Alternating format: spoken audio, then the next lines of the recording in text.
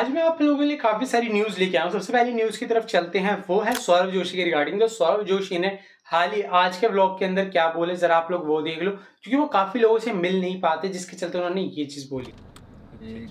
मैंने बोला था ना सब्सक्राइबर होंगे।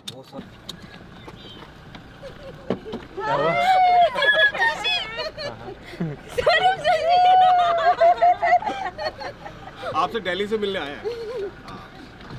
मेरी मेरी बेटी के फेवरेट हो ऐसे सबके हो लेकिन मेरी बेटी के स्पेशल और ये मेरा बेटा। क्या हुआ? एक्चुअली एक्चुअली ये आया है। एक्चुअली ये आया ये क्या हो। गया सॉरी गाइज़ मैं जिन भी लोगों से नहीं मिल पाता जो भी सोसाइटी के बाहर आते हैं मैं बाहर होता हूँ या फिर मैं कुछ बिज़ी हूँ तो मैं मिल नहीं पाता जब भी। जब भी मैं बाहर आता हूँ तो मिल लेता हूँ अदरवाइज़ नहीं मिल पाता सॉरी गाइज़ और वहीं पे उन्होंने काफ़ी लोगों से रिक्वेस्ट भी करी थी कल के ब्लॉग के अंदर। जो मैं वीडियो के अंदर कवर नहीं कर पाया, वो ये थी कि वो हेटर से ये रिक्वेस्ट करना चाहते कि आप लोग मेरा नाम लेके प्लीज़ वीडियो मत बनाया करो, क्योंकि मैं भी इंसान हूँ, मेरे को भी बुरा लगता है, आप लोग उनके मुँह से ही देख लो ये वीडियो को। मतलब मैंने एक चीज़ देखी है, पता नहीं क्या भगवान की कृपा है। जो मेरे साथ में ब्लॉग बनाते हैं ना, सबके वीडियो वायरल होते हैं, सबके व्यूज़ आते हैं भाई। दो, तीन तीन लाख कई लोग एक एक मिलियन तक चले जाते हैं। और जो नेगेटिव डालते हैं, उनके तो जाते हैं भाई एक एक मिलियन व्यूज़ जो बोलते हैं कि एटीट्यूड है इसमें मिलता नहीं है, इसने ऐसा बोल दिया, बोला कुछ नहीं होता मैंने। तो प्लीज़ इस तरह से मत किया करो गाइस नेगेटिव वाले, क्योंकि यार मुझे भी बुरा लगता है यार, मैं भी इंसान हूँ यार कोई मेरे बारे में नेगेटिव डालेगा ऐसे बिना बात के तो बुरा तो लगेगा ही नहीं। आपको तो व्यूज़ मिल जाते हैं लेकिन सामने वाले पे क्या बीतती है ना?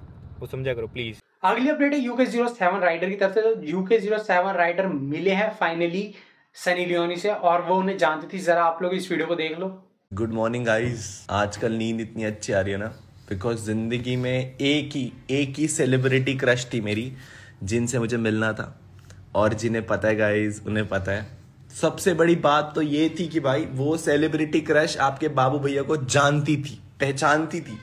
और उनके जो क्या बोलते हैं उन्हें जो उनके पति होते हैं उनके जो पति पति पतिव्रता थे वो भी हमें जानते थे गाइस प्रो राइडर थाउज़ेंड की डेथ के बाद उनके फादर ने पहला ब्लॉग डाला था जिसके बाद उन्हें काफ़ी ज़्यादा हेट भी देखने को मिल रहा है। काफ़ी लोग बोल रहे हैं कि ये चीज़ काफ़ी ज़्यादा गलत है, तेरह दिन भी नहीं हुए, बच्चे को मरे और आप यहाँ पे वीडियो डालने लग रहे हो। और वहीं पे कई लोग ये भी बोल रहे हैं कि इन्हें तो कंटेंट का ज़्यादा है यूट्यूब से इनकम का ज़्यादा है, ना कि अपने बच्चे की ज़्यादा फ़िक्र थी। तो वो सारी चीज़ें ही बोल रहे हैं। देखो, मेरे को लगता है पर्सनली दोनों चीज़ों को हमें समझना चाहिए। यूट्यूब एक तरीके का उनका बिज़नेस है। बिज़नेस को बिज़नेस की तरह ट्रीट करना चाहिए। फैमिली को फैमिली की तरह हम लोगों को घुस के ज़्यादा बोलने की ज़रूरत नहीं होनी चाहिए।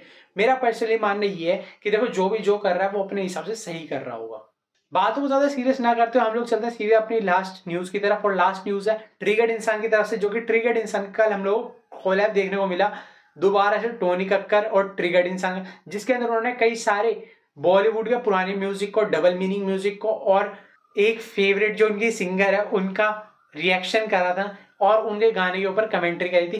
Undertaker John Cena Rolls Royce सारे वर्ड बोल दिए। मैं बना देता हूँ गाना। रेडी हो आप? Yes here it goes iPhone Samsung MacBook Lays doggy चश्मा पा लिया है। मैंने माइक अपना गा लिया है। मैं कुछ भी बोली जा रहा हूँ और गाना बन रहा है। मेरे हाथ में माउस और ये चल रहा है।